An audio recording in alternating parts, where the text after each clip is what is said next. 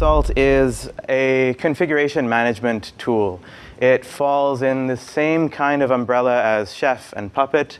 It's a little bit different because it's also a remote execution framework, um, which uh, is, you know, uh, can work in place of um, multiplexing SSH things and stuff like that.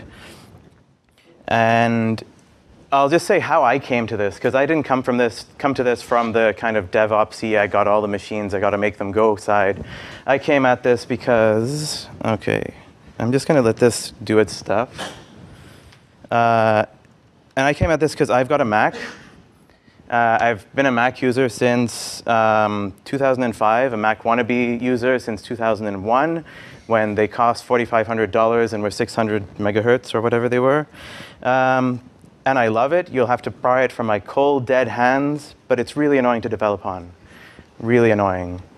If you're using the, uh, the package managers, invariably you'll come across something that doesn't quite work. The, the make files don't work very often for OS 10, and it just kind of slowly was driving me insane. Uh, so I came to use Vagrant, uh, which is this awesome thing that lets you start up virtual machines really easily on your, uh, on your computer, uh, made by this guy, Mitchell Hashimoto, and it's really awesome. Uh, uh you just have a really tiny little file that makes a virtual machine. Uh, zero. So this is a Vagrant file. This is the simplest Vagrant file that exists. It just says, get this uh, Ubuntu image, and that's our virtual machine. So that's where we're going to start from. And as I was saying, I, start, I came into this from uh, being annoyed with the Mac, and I, Vagrant has great support for Chef and Puppet, and I tried those out, and they just weren't, uh, we weren't friends. Chef annoys me because you have to write Ruby code, and somebody you don't necessarily know that everything's idempotent, that uh, the person who's writing all these modules isn't just going to remove stuff, delete, star, or anything like that. So I didn't like that aspect of Chef. And I tried Puppet for a bit, and it just didn't suit me at all. Um, so I started exploring for uh, less mainstream ones. I'm also one of those kinds of people, who looks for less mainstream tools. Um, so I came across Salt, and that's uh, what I decided to use. So I'm just going to move on to, this is now, I've added very simple Vagrant uh, salt provisioning. Uh, I'm going to show you how to use this with Vagrant initially, because I can build up a fairly decent example this way. So you can see it's the same, uh, the same config, except now we are we're telling it to provision with salt. That's not so interesting. This is now, this is Vagrant. Um, but the way Salt works is uh, it runs this daemon called the Salt minion on the machine that it is managing. And that machine, uh, sorry, this Salt minion is responsible for installing all the packages that you say you want installed and so on and so forth. Um, and in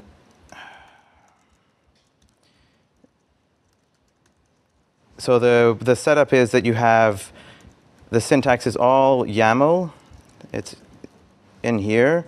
And so there's a top file called top.sls, um, which looks like so for now, which, uh, let me put that at the top. Okay. So the, the base is just the name of an environment. This could be, you know, if you have multiple environments in your network, staging, production, etc., you can have multiple different environments. The asterisk is which machines to match. So here, this is to match every machine. I'm only going to have one machine. It's my Vagrant virtual machine, so I'm not going to bother with that. And then just for the basic example, I'm saying include the edit uh, state. Um, state is the term that uh, Salt uses where Chef uses recipes and Puppet uses modules, I think, or manifests, I can't remember. Um, so if we go into the edit directory, this is sort of Python-esque. This is all a Python tool, so they've got this init convention in subdirectories. And now we'll see what the first state looks like, and it's just that. This is YAML. The state says uh, that the Vim package should be installed. Of course, I'm going to want Vim on the machine because if I need to edit anything, I'm going to want to use Vim. Um, so that's the very basics of it. Package installed, so you have the name of the package, and then the state is that the package should be installed. You're saying this is what should be, and then when you uh, when salt runs, it makes that be the case. So. Um, moving on to the next step. I'm slowly building up here. Um, two. So now I've added um, some Python packages because we're we, we, do Python here. Uh, so back in the top file, now I'm saying that every machine should have the edit stuff and also this Python stuff. Uh, and in do it like this. So this is now getting a bit more complicated, but it's the same basic structure. The Python packages is an identifier, and then it's saying that packages should be installed, and these are the packages that should be installed. Python, Python dev, Python pip, and virtual env, because these are the basics you're going to need for pretty much any reasonable development on, uh, in Python. And uh, so that's um, so this is now getting to be a bit more of a complicated uh, example of how these uh, states work. Um, I should say, if anything's not clear at any point, I'm very interruptible. Um, so please go ahead. Um, let's see. Um, so the next thing is now I'm going to go into a little bit more, much more of a complicated example, which is going to demonstrate more advanced features of Salt. So in Puppet, you're probably used to being able to order your uh, modules if you use Puppet, where some things require others to happen first. And Salt has just exactly the same kind of thing. Uh, so So now I've got this, I'm adding a couple more things. So what I'm doing here is I'm building like a super awesome Hello World app that's going to run uh, using Circus. It's going to be super scalable and everything. It's really cool. And so we've got the edit and Python, which are the basics. And now let's go take a look at this, um, the Hello World um, state ls. Okay, so yeah, so the anyone who's used to using pip knows what requirements.txt is. And the requirements here are it's a Flask application. Uh, so the requirements are we need Flask and Flask's things and this thing chaussette that uh, the Circus people recommend you use. Um, and the application is this super awesome hello world. It's copy paste direct from uh, flask.pocoo.org. Um, I'm not very original here, but this is, this is what I want to build. And I want this to be really scalable and really awesome. So that's why I brought in Circus. Um, and to, I'm going to open up this in Vim because it's a bit longer. Yeah.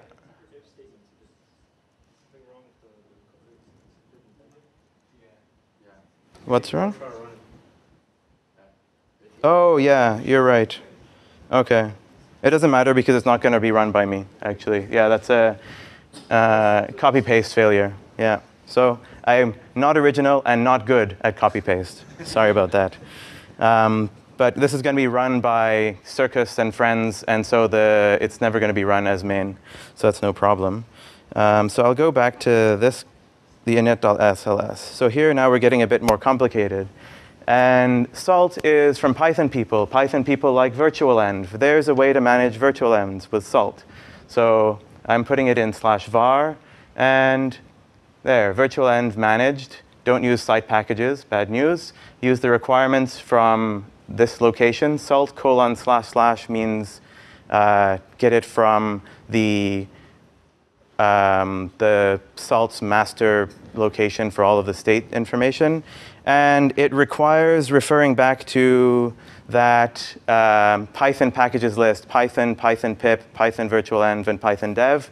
So it's saying you cannot set this uh, virtual env up until that stuff's been installed. Fairly straightforward. And here's another, uh, another state that's pretty useful is saying, salt, manage this file for me. I want this, uh, don't deploy your apps like this. This is wrong. Um, don't deploy them with your config management. But I'm deploying my awesome Hello World app using Salt um, just because it keeps things a little bit uh, more uh, together. So I'm saying manage this file for me and get it from here. So that's the little app.py I showed you with the uh, if indentation problem. Um, so now we've seen um, the Hello World app. But like I said, oh, sure. This is building up uh, a dependency graph on the states that's um, separate from the dependencies that pip or um, the packages uh, would have. So you can, I've got an example in the, the next thing I'm about to show, the circus config, where you can uh, set up requires, which are this must happen first, and you can set up watches, where if something changes, restart a service or some such thing. Um, so in the circus config, um, so here we've got, uh, I've installed circus with pip as well. Uh, so keeping the requirements separate, and it's in its uh, own virtual env as well. Uh, and I've got two, two extra files here. There's circusconf, which is an upstart file. My machine is an Ubuntu machine uh, and Circus ini, which is the Circus config. So I'll just show you what those look like, but they're not so interesting. Um, so this is just an upstart file to say how, uh, how to do this, how upstart should handle this service. Uh, and circus.ini is the circus configuration. So this is uh, mostly just lifted straight from the circus website. Um, I'll just say if nobody knows, uh, this virtual env thing is brand new. It was like released at lunchtime. I just happened to be in the right place to see that they added support for virtual envs in Circus, which is really cool. Um, 0.7. Um, so this is all a very virtual env kind of thing that's going on. Uh, so now this is the Circus INI, but I'm not going into it because this isn't a talk about Circus, it's a talk about salt. So this is what we're going to be talking about more. So this is now introducing another state, which is that the service should be running. So the circus service should be running, and it requires that the upstart file has been put in place, the circus virtual env has been put in place, and that that um, Hello World app is in place because that's what is going to be running. And the watch is what I just alluded to. It's like require, but additionally, if it ever changes, then service will, uh, the service state will restart the service. So if you've changed uh, this uh, Circus INI file at some point and then do a salt, um, what's called, uh, I've forgotten some terminology here, uh, salt high state, which is the way you tell the machine to get the new state, then if that file has changed, it will restart the service. Super handy. Down here, there's just another, it's another virtual env, much like the one for the Hello World app, but this is just to keep Circus and its requirements, which are uh, um, from intruding on the rest of our system. And then uh, here we've got the Circus INI file. This is also something we've seen before. Uh, just get the file from this location and put it in slash uh, etc slash circus.ini. And finally, it's uh, file managing a file, but a little bit more complicated. So the circusconf, because it's the upstart file, needs to be uh, um, owned by root and you know keep the modes good because we don't want people to screw around with our systems by modifying it. Um, so this is just showing a few more parameters that you can have on for example, the file managed. And a lot of these states have additional parameters that you can add on to do more advanced, uh, more advanced management.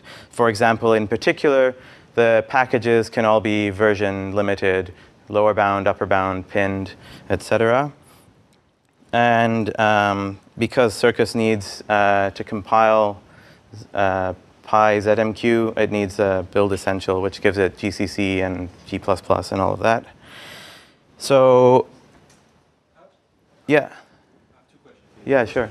How does it know what user to log into your Vagrant box as, and like setting up the keys and authentication? Um, so, The question for okay, sure. So, the, should I repeat the second question too? um, the first question is how does it know how to log into the Vagrant box and uh, what uh, keys to, to use and how to install everything? Um, and the second question was could I repeat the first question for the recording? Um, so the, the, to answer the first question, I will take a quick. Uh, so if we look at the Vagrant file, here I'm using this thing called, um, this is Vagrant specific. This uh, is a plugin um, from the Salt people that acts like the chef provisioner or the puppet provisioner. This actually will bootstrap Salt. It will install Salt if necessary and um, set up all of that stuff. And then above, um, this is how the state files get to where they're supposed to be. Um, does that answer well enough? Okay, so this is this is um, vagrant magic that that happens. Um, and now, I wanted to be doing uh, vagrant up all throughout this, but actually um, downloading packages like it takes, uh, you know, a minute here, 30 seconds there. That this talk would have gone on uh, way too long. So I'm going to do a here's one I prepared earlier, which is a vagrant up on the final state with the um, with the circus stuff all installed. Actually, it's already running, but I can SSH into it. Um, and we can just look around the file system a little bit just to see where some of these things are. Um, so, sorry, var. So here are these virtual envs that the virtual env state set up for us. And uh, um, the, uh, the circus INI file is put there, and so on and so forth. And the icing on the cake, of course, is when we check to see if the Hello World app is actually running. And so I'm going to do that from my local machine. I've got the port forwarded. So if I curl localhost 8000, Hello World. So that all of that stuff is coming together, and now we've got um, the the Hello World is running. It's all being super scaled with uh, Circus, and it's got the upstart script. And anytime I change the INI, it's going to get reloaded, and all of that. And I can take all of this state stuff and transfer it directly to uh, actual running server and run it there. Um, Sadly, I'm out of time. I actually have about seven EC2 boxes that I was going to demonstrate the remote execution with. Um, so I don't get to do anything with that.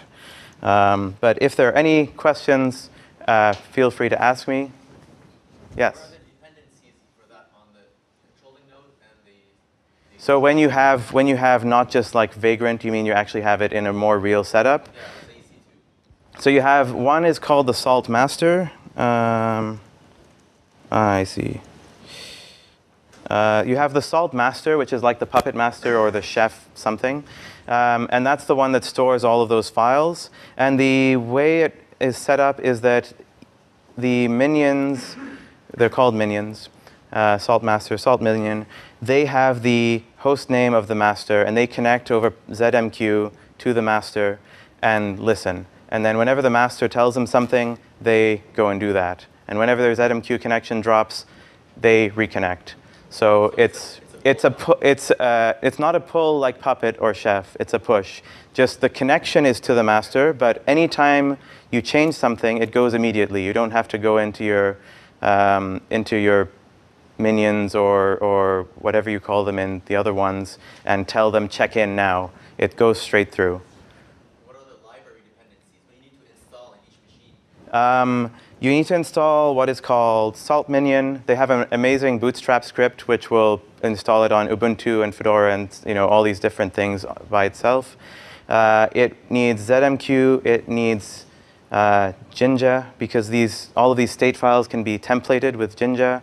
Um, I cannot remember what all of the requirements are, but those are the two that come to mind. Um, and the other nice thing, just on that note, is you don't need any open ports into the minions for this because it's an outgoing connection. You get immediate synchronization, but you don't need open ports on any of the minions, which is nice. Um, is that a question?